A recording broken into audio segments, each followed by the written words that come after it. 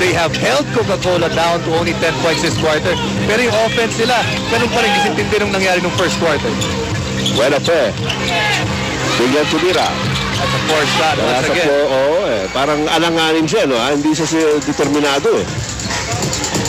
Here's Juki Valenzuela, Alex Crisano. Binigay kay Mike Tagiwa, hand out to Helterbrand. Helterbrand, there's the bounce pass to Crisano. Masyado malakas ang pasa. Here comes Buena Fe, leading the break para sa Coca-Cola.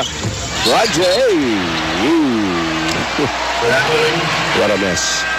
Substitution Alex one. Sayang yun, ano? Because uh, uh, coming off a transition, eh, dapat uh, maganda ang uh, nangyari para sa Coca-Cola. Instead, they turn it over and they give Barangay Ginebra another opportunity para palawigan ng kalamangang ito. They have not had easy baskets. Itong Coca-Cola, para sa Barangay Ginebra, maraming beses nakita natin. Sila nakakuha sila ng layup. Eh. Here comes Mike Kagiwa. Pinigay kay Crisano. It's taken away by Jason Dixon. Here comes Aris Dimaunahan. In the game for the first time to Nick Velasco. Finally, an easy basket. Yun ang hinahanap mo, Jason, ano? Na dapat magkaroon sila ng mga, yung parang mukhang madali na mga tira sa ilalim. Yung on transition, uh, early seal para kay Nick Velasco. Naipit niya na si Eric Meg. Yun, mga malalapit na tira. Kasi ang dami na rin tinira na three-point shot ng Coca-Cola. And speaking of three-point shots, Junti just missed one. And the loose ball picked up by Alex Cabagnot. Aris Dimaunahan. Tama kay Junti Valenzuela. And uh, ball is deflected. It goes out of bounds in favor of Coca-Cola. Babalik si Ronald Tubit para kay Mark Cagiwa sa panig ng Barangay Ginebra with a minute and 14 to go, second quarter.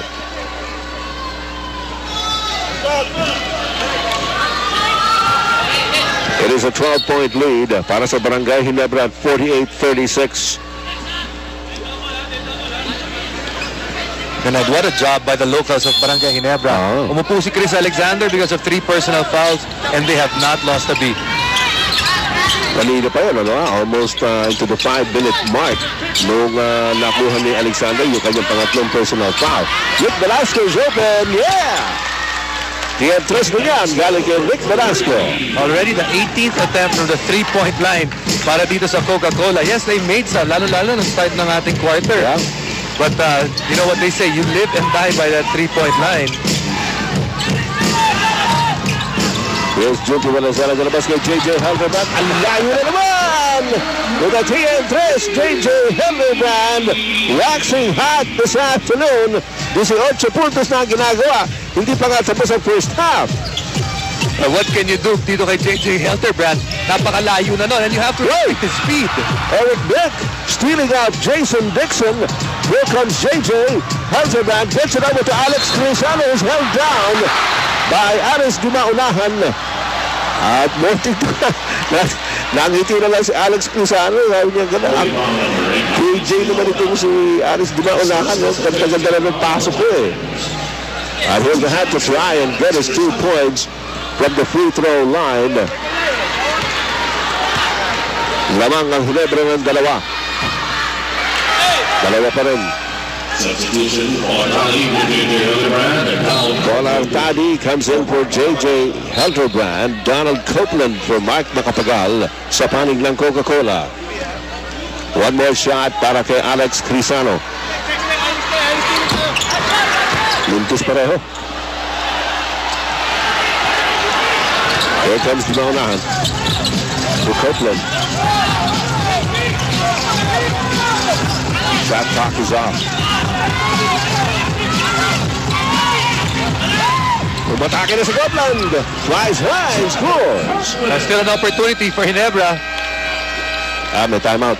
30 second timeout with the Barangay Ginebra. Barangay Ginebra sues for a 30-second uh, timeout with 5.3 seconds remaining here in the second quarter, and their lead uh, down a bit to 10 points, 51-41. The biggest lead in this game was 14 uh, just moments ago. Although, ang unang lumamang na malaki dito ay ang Coca-Cola. Nung mag-umpisa po tayo, rumatsada itong Coca-Cola, lumamang ng 12 at 14 to 2. Pero inunti-unti yan ang Barangay Ginebra towards the end of the uh, first quarter. And nakadikit na yung uh, Ginebra. And at the start of the second quarter, Ginebra got its first taste of the lead. And once they uh, tasted that lead, eh, ninamnam na nila. Oo. Pinalaki na ng pinalaki. Hindi lang ginamnam, giniyang niya na. At uh, ewan ko lang kung malululun nila. Dahil uh, meron pa tayong uh, one full half ahead. 30-second timeout by the Motorola Tigers. Aba, sumagot naman si Coach Binky Pavis.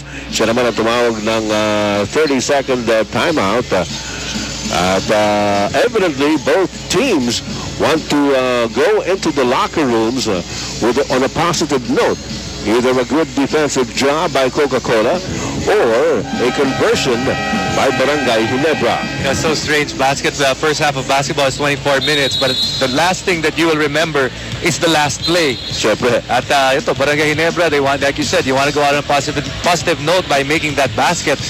Coca-Cola, miski na wala sa kanila yung kalamangan at umakit yan ng 14, they'll feel good if they can hold Barangay Ginebra because they made the last basket and they were able to good, put up a good defensive stand. over 11,000 people in the Coliseum waiting to see what happens here. Mark Tagiwa, three-point attempt is no good.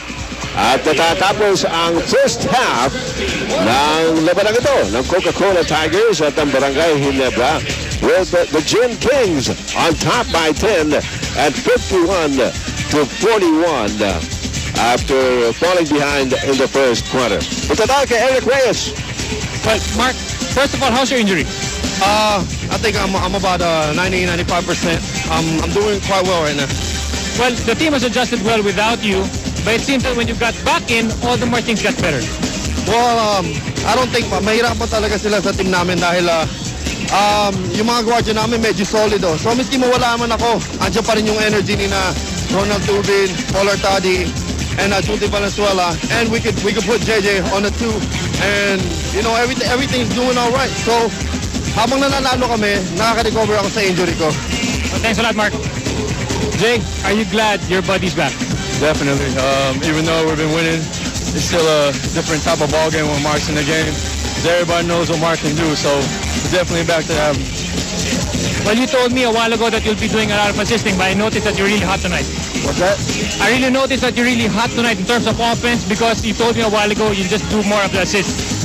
Well, yeah. I mean, um, we're running the offense really well. We're passing the ball, and um, I'm getting open shots, and uh, they're just falling for me right now. Thanks a lot, Jake. Ed, Jason, Alright, at si uh, JJ Helterbrand, mga kaibigan, 18 puntos ang ginawa sa first half. And that's the uh, halftime score. Lamang ng 10 Barangay Ginebra over Coca-Cola. At dumadami pa ang pumapasok dito sa Araneta Coliseum. Meron na po tayong 11,000, 11,000 people plus here at the Araneta Coliseum. Dumagdag pa kayo. Kaya parami po tayo ng parami na nag enjoy dito sa laro. We'll be right back.